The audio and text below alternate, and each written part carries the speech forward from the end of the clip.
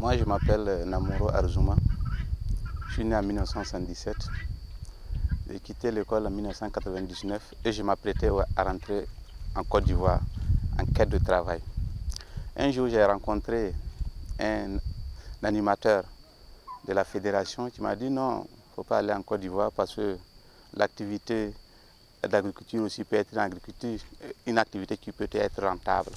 Je n'ai pas cru à ce qu'il a dit, mais malgré ça, je me suis concentré une première année pour essayer. J'ai fait l'année, bon, ça n'allait pas, j'avais toujours l'idée qu'il faut, toujours entrer en Côte d'Ivoire.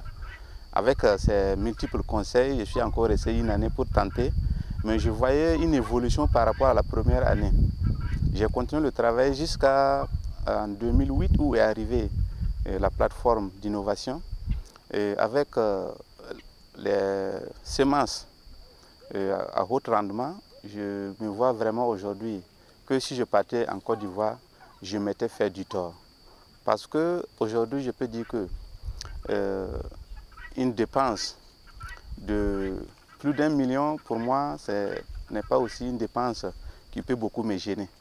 Donc vraiment, cette plateforme d'innovation a été la bienvenue à moi, à mon secours, à, à, ma, à la réussite euh, dans ma vie. Donc euh, je ne serai pas trop long, je vais vous remercier tous les initiateurs de cette plateforme et que vraiment tous les producteurs du monde puissent copier moi mon exemple parce que l'agriculture aussi est une porte de sortie, c'est une activité comme les autres.